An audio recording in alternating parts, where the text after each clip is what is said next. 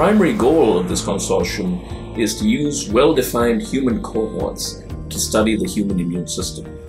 Specifically, to apply the latest cutting edge technology, the so called omics technologies, to begin to probe the human immune system as it exists at baseline. By that I mean in the absence of any overt perturbation, or how it behaves in response to vaccination or infection.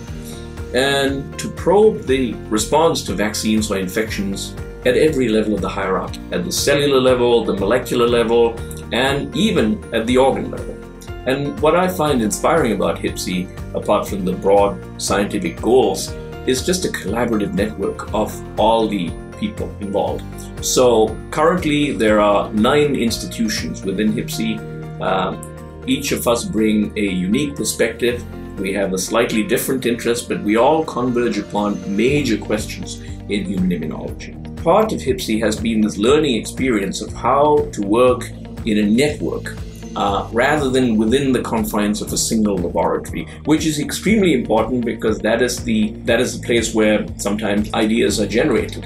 But equally, it is important to step beyond the confines of a laboratory and begin to view yourself as embedded, as, as, a, as an important player in a network. Different groups can converge on important problems from different perspectives using different technologies, and HIPC provides a culture in which these different disciplines can engage and interact, and it really fosters and nurtures that culture of interdisciplinary science.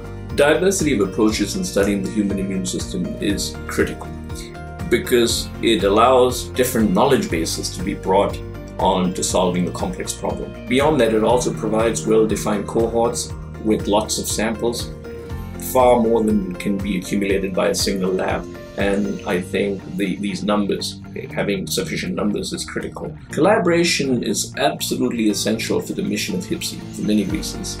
Answering big questions about the immune system can be more easily done in a team because no individual person or no individual lab would have all the expertise that one needs to solve a major question in biology. And HIPC epitomizes this culture of collaboration in the way in which it nurtures teamwork, team spirit, sharing of ideas, data, and sharing of authorships and papers and so on. So in a way, uh, HIPC has really taken the lead in fostering a collaborative culture of studying the immune system.